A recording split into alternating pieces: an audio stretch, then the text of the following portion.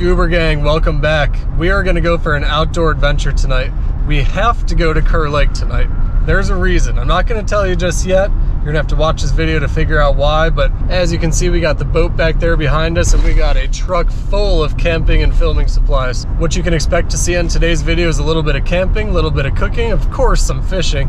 And uh, if that's the kind of adventure that you like to see, make sure you throw us a thumbs up. We've got almost 100 miles left to go down the road. And as you can see, it is still hot out. It was up over 100 degrees today, so we waited for the temperature to cool down a little bit. I didn't want to bake outside all day, so we're gonna hit the water around 7.30 p.m., fish in the heat for a couple hours, maybe take a dip in the lake. We're gonna try and catch our dinner. If not, we got some backup supplies here. And there's one thing that's for certain. The low temperature is only 84 degrees tonight. It's gonna be a pretty uncomfortable night of sleep. I'll catch you when we find a bait shop. Later.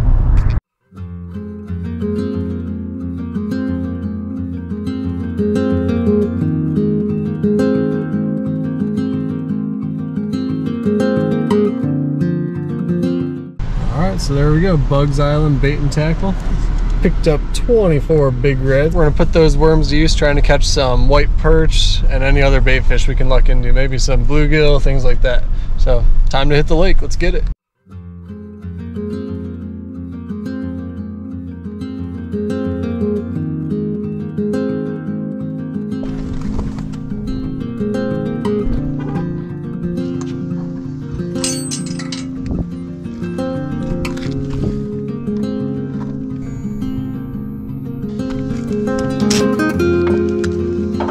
Let's get this boat in the water.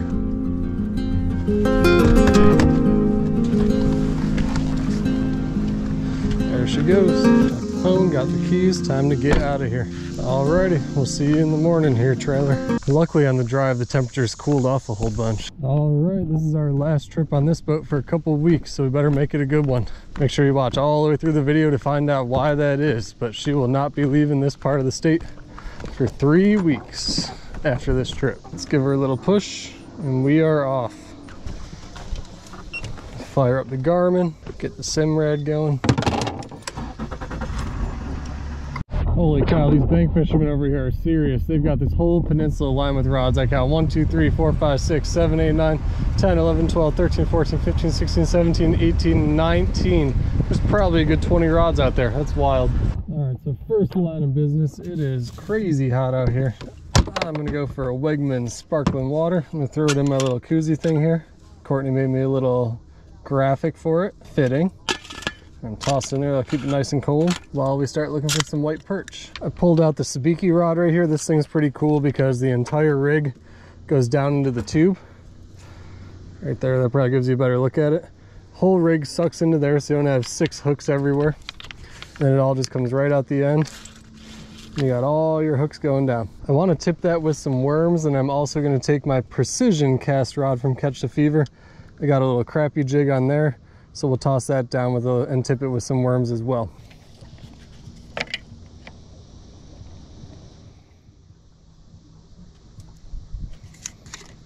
As you can see, we got a pretty loaded down cooler here. We got a couple cool things in mind for this trip and uh, we're gonna try and catch our dinner above all else. If that fails, we got backup plan. And this little sabiki rig here, I'm just gonna tip each of the little gold hooks with a little bit of worm. That should do the trick. Now that's all tipped with worms, we'll just drop that over the side. Got that on a little bait casting reel here and we'll be good to go. Last little bit of worm's gonna go on our precision cast crappie rod from Catch the Fever. There we go, we'll start jigging that. All right, Goober Gang, so we couldn't really find any white perch out in the main lake. We did find these lights they turned on when it got dark and the darkness set in fast. But what we've been doing here is throwing the cast net.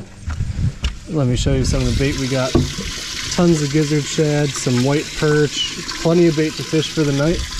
We should be able to cook some of those up if we get hungry here. At least some of the white perch. I'm not going to go eating any shad. Don't get any crazy ideas. But we'll cook up some white perch if we uh, get around to it. We need to run back upriver and find a spot to catfish a little bit. Now, when I was throwing the cast net, we were catching a bunch of big crappie, but you're not allowed to keep those out of the cast net.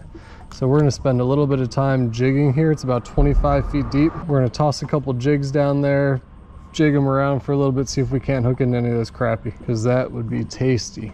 All right, Goober Gang, well, about 20 to 30 minutes of that, no crappie to speak of. I think it's time we move on to some catfish. It's almost 11 o'clock at night. We got plenty of catfish bait, so we're gonna run back upriver a couple miles, find a couple spots to anchor up, and see if we can catch some. We got some white perch and gizzard shad ready to go. Got all the rods spread out. We're gonna be tossing six rods out there tonight. So we're fishing up against this bluff here, and back this way, the main river channel comes in here, and then it's kind of a pinch point where it all comes together, so I can fish a little bit deeper and a little bit shallower up along this rock wall So we'll see what happens. We'll anchor up here for the night. Let's get these rods out. Okay, this right here is going to be a white perch headpiece. Chopped off the body, got a nice little fillet looking thing there. Try and put it right up against the wall out there. That one's basically on shore.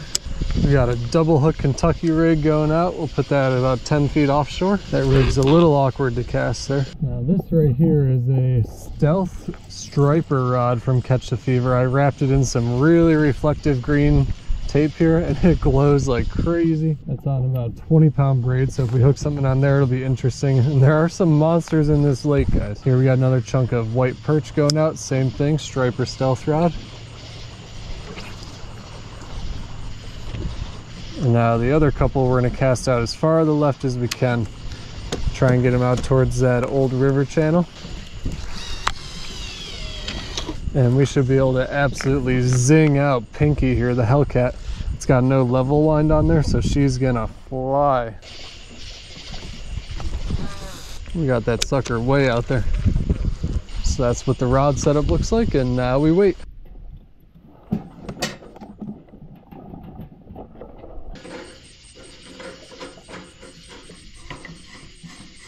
So I am thinking it's about time to get cooking here. It's been hours since I last ate. I don't even remember how long ago it was. We're gonna do some better cheddars. If you've never been on the water and had some better cheddars, you do not know what you're missing out on. So we gotta get this pan fired up here. Got our little Everest 2X grill here. Propane. Alrighty, so we got that little pan starting to heat up a little bit. We're gonna throw some of these better cheddars in there probably cook, let's see, there's six of them. Hey, I'm gonna cook three. Why not live a little bit, you know? While I wait for those to cook, I'm gonna have one of my favorite little snacks here. Senor Rico's rice pudding. Don't forget, we still got all those rods out here hanging out. We got another group way back on the bank. They're having a fire, so they're back there chilling. Oh yeah, this rice pudding is one of my favorites. I went years without eating rice pudding, then all of a sudden I'm just on this major kick. Best snack ever. We're gonna dig around in our little camping bin here looking for some silverware. I know we got some in here somewhere. Propane's got those sausages already starting to steam a little bit.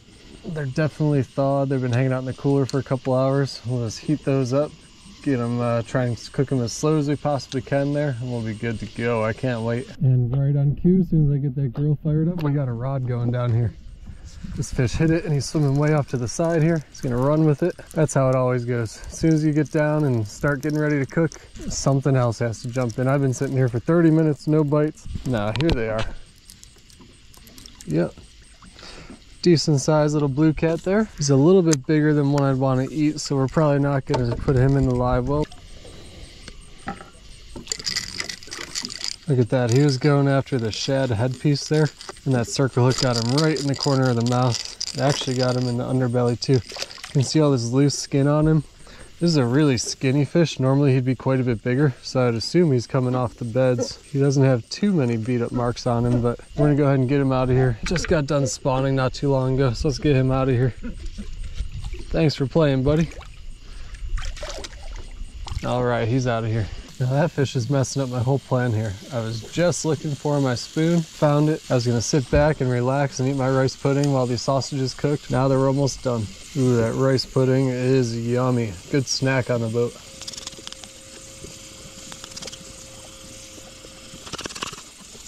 All right, rice pudding is done. Those sausages are looking good. If only you could smell those through the camera. Man, gotta start getting some plates ready for those pretty soon. I'm gonna let them plump up a little bit more first. All right, these are starting to burst a little bit. I think it's about time we pull them off the grill.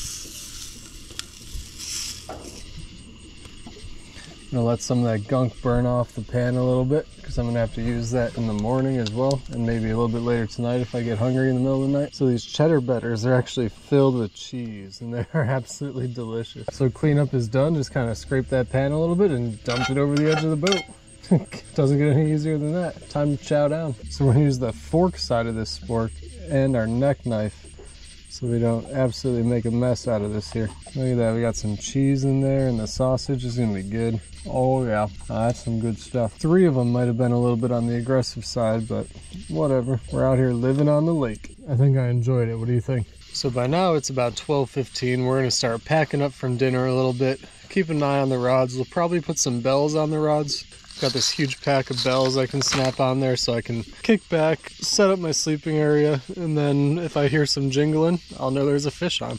Sounds like a good plan to me. You know, I was pretty worried about the overnight temperatures being so high, but it is just gorgeous out here tonight. There's just a slight breeze that's helping keep the bugs away. If that dies off, I brought a little fan with me I can turn on to kind of keep some air moving through here and hopefully keep the bugs from bothering me too much. But beyond that, it's just a gorgeous night. You can hear all the crickets and everything in the background. Not bad, not bad. Good little adventure we have going so far. Let's get this cleaned up and then we'll, uh, we'll show you the sleeping quarters. And one of the things I absolutely love about this boat is how much room it's got. There's tons of room right here. That's actually where I'm gonna set up my sleeping quarters tonight. It doesn't have a traditional live well or anything in the back like that. The live well is actually up front, right up there. So one of the cool things is you can walk right back up to the back of the boat, almost all the way up to the transom and get right to everything, right to the rod rack, and it just maximizes the floor space in this boat. I absolutely love it. But let's get that sleeping pad down. We'll get a little blanket down, and it's time to get to sleep. The floor is a little bit nasty from catching bait and everything, so I'm gonna plop a towel down on the ground. We've got a really nice sleeping pad. I don't want to get that all nasty. Here's our sleeping pad. I've laid down on it and it's super comfortable. This will actually be the first night that I'm sleeping on it. This is a Thermarest Trail Pro. I'll put a link down to it in the description, but this thing is a, a self-inflating foam mattress. So you pull it out of the box here and it's about, I think it said three and a half inch foam, uh, three inches. Yep, packs down really light and small, and it's got a pretty high insulation value. So we're gonna lay this down on top of our blanket here, and there's actually a little valve right up in here. It's actually starting to self-inflate right now, and if it's not getting to the level I want to, I can always blow some air into it. So we're just gonna let it do its thing for a couple minutes here and start to self-inflate.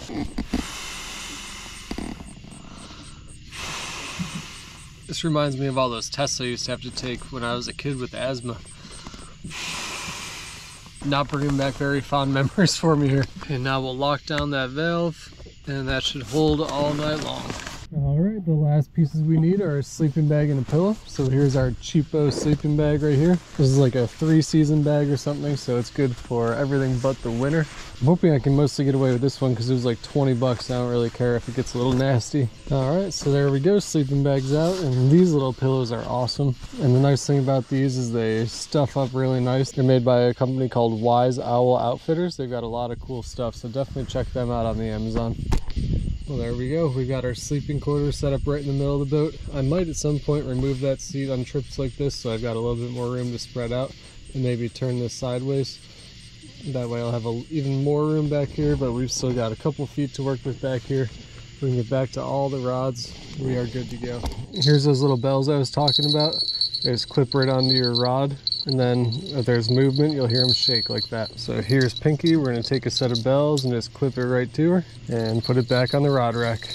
And we'll do the same for our other five rods. All right all of our bite detectors are on. I'm going to lay down for a little bit and see if i can get some sleep. Still got a nice view of the rods. If they start going off we'll hear them we're to use our fancy remote turn the lights off and we're gonna go to sleep for a little bit. Well, I've got to say, I was completely wrong about how last night was gonna go. It was absolutely gorgeous out here. Temperature spot on. One of the keys I hooked up that little fan right there. It's a little DeWalt fan, runs on a six amp hour battery. That thing will run for about 20 hours straight on half speed. And that just had such a nice little breeze coming through here. I actually ended up sleeping in a little bit. It's about 645. Heard some rods getting jangled around a little bit, so I think it's time we get up and check those out. I tell you what, it doesn't get much better than that. Now you can kind of see that rock bluff I was telling you about.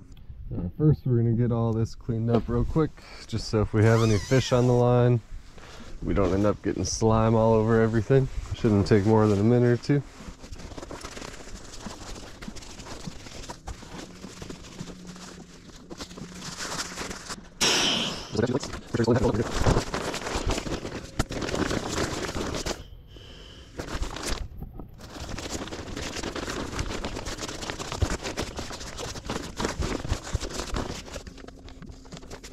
Let's check some rods, see what's going on here. See if I missed any bites.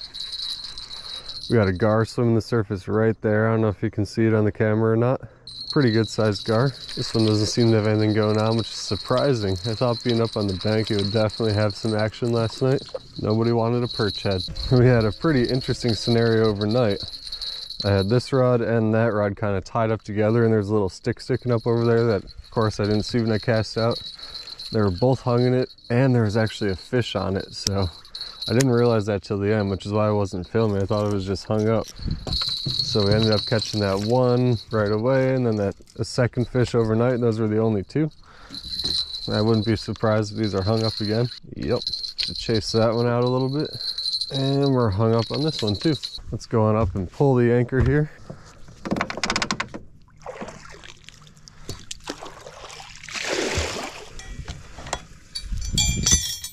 All right, so now that the anchor is loose, we'll come back here and try and chase down these rods, see what's going on back here. All right, looks like we were hung up on a tree or something there, but that ended up coming out. Well, my friends, we've been on the water way too long without having gotten in the water. It's about time to jump in. Let's do it.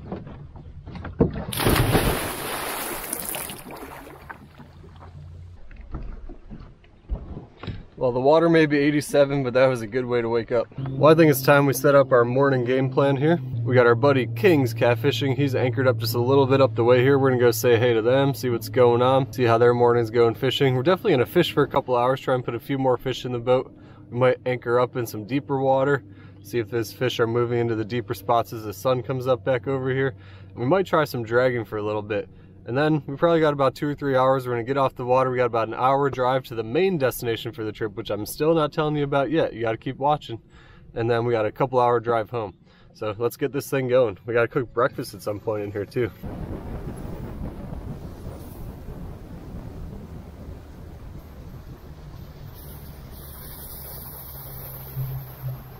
We just had a hat go overboard. I think we got it right up over here, so we're gonna go grab that real quick. All right, got it. Can't lose that green machine hat. That thing's lucky. And back to our regularly scheduled program. Um, there he is. Yeah, see that? Look at that, they're hooked up over there. Yep. But you can go on up probably another three quarters of a mile to a mile before it starts getting like three foot.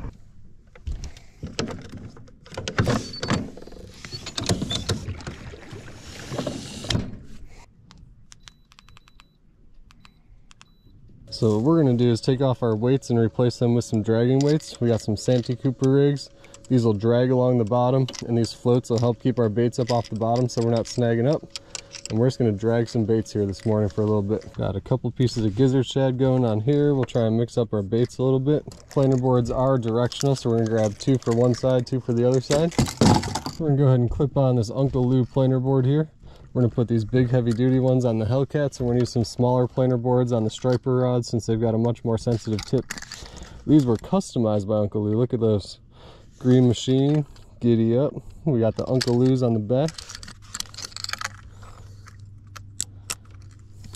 Ready to rock and roll. Get these baits out there. Now the planer board, just as the boat moves through the water, you either you either need current or a moving boat. And as it moves through the water, it's just gonna kick that board out to the side and it's gonna help spread the baits out away from the boat a little bit. So we're not just dragging directly behind or under the boat. And the more line you let out, the further out to the side it goes. All right, so this is what we're looking at. We got one, two, three, four planer boards out. It spreads everything out behind the boat. And then these two are straight down, kind of suspending as we go along.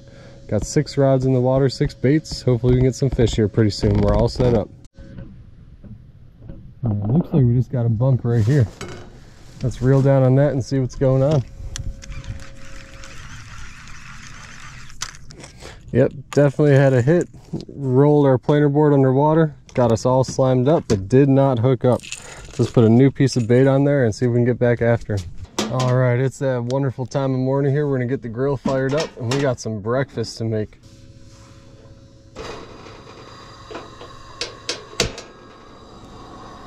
We're gonna get that pan heating up. We got a little bit of cooking oil here. Plop that in. Let that get good and hot. Got a couple pieces of sausage going in there. Looks like we got five sausages and two eggs to go with it. So once that gets going, we'll toss those eggs on there and cook them up. And I'm sure Rod's gonna go down right when we're in the thick of it. They're already fully cooked, so brown them up, serve them, and get the eggs cooking, and it's time to eat. Still looking for our first fish of the morning here, but what a pretty view. It's already getting up there and it's only 8 o'clock so far.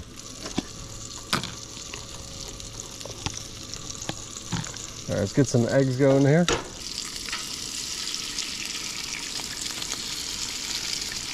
Probably gonna scramble these eggs up. Sausage are just about done. These eggs are gonna cook pretty fast. This pan's nice and hot on this propane stove here. Time to pull the sausage off. Those are looking good. Eggs shouldn't be too far behind. They're just about done. Get them cooking in that sausage grease a little bit. I think we're gonna cut the heat here. This will probably be the last meal I cook on this trip, so I'm gonna start disassembling the grill. All right, time to get those eggs out of the pan. Those are looking really nice. They're browned up a little bit from the sausage grease. There we go. All right, as that pan cools down, I'm just gonna go ahead and chop these sausage up real quick. I'll probably just split them in halves or thirds or quarters or something like that, whatever. Get them all chopped up because I'm sure Rod's about to go down as soon as I start trying to enjoy this breakfast. All right, that'll do it. And let's dig in. We got sausage, egg, and some sparkling water for breakfast. Slept out on the lake, eating out here. Doesn't get much better than that. Oh yeah, now that is good. I could live out here. So we just had a pretty good takedown on this rod over here. Let's reel them in, see if there's anything on there. It sure looked like a fish. Hard to tell pulling that planer board in right now. Bet you we do have a fish on this, guys. This will be our first catfish of the morning, hopefully. Suck that right underwater. Yeah, there we go. It's not a bad sized fish at all. Now he's gonna be tangled up like crazy in all of our lines. But we'll be able to sort that out, no problem. Look at that little fatty, that's a good sized fish. Check that out, guys. Good looking little catfish there. He's a little bit bigger than I'd like to fillet up, but if we catch one a little bit smaller than that, we'll keep him in the live well and see if we can have him for lunch. Let's let this guy go. I don't know how long he's been along for the ride back there. Later, buddy. He out of here. He was looking for that white perch headpiece, it looks like. Let's definitely get that back out there. I might take the opportunity to change out my sinker here. This one's a little bit heavy to be an outside planer board. It's kind of gravitating towards the center of the back of the boat, so we're just gonna pop this off, put something lighter on. That's like a six ouncer. We're gonna go down to like a two or three ouncer. Alrighty,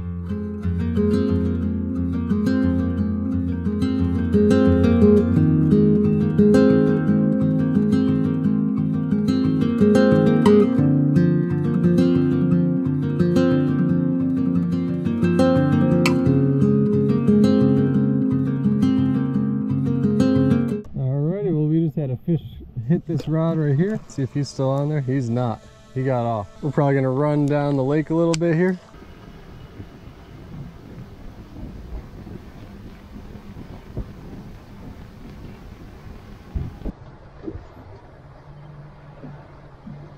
Got snagged on one of our rods. It was the rod sitting right here. Planer board popped off and I just set everything up for the drift so I didn't really want to pull everything in and re-go and reset everything up. So I jumped in the water, grabbed the planer board. This rod went down over here. Came back in, reeled that on, or reeled that fish in. Got him in the live well, I'll show him to you. That's our buddy right there hanging out in the corner. He's probably about a five to seven pound fish. Looking pretty good. So in the midst of all that chaos, we forgot to press record on the GoPro. So missed that. It's already a little bit after 10, about quarter after 10 in the morning. It's starting to get really hot. I got a couple hours of driving to do today. So we're gonna be pulling off the water here pretty soon. Gotta decide if we're gonna cook that cat up or let him go. Haven't decided yet. He could be a good early lunch. All right guys, time to end the fishing adventure and move on to the most important part of this whole video. Let's get these rods in. Let's get back to the boat ramp. We got to unpack this whole boat, and then we'll see what's going on after that. so after a couple minutes of thinking, this guy is gonna go back in the water. He looks like he just got done with the spawn, so that is a breeding fish. We'll keep him in the water. He's gone.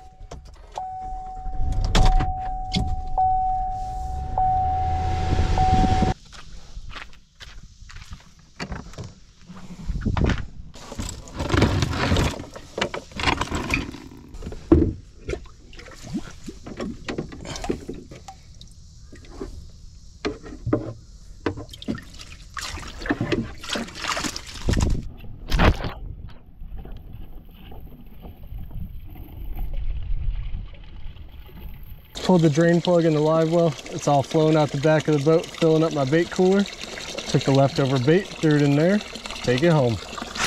Boat's on the trailer. Everything's unpacked out of the boat into the back of the truck. Time to rock and roll.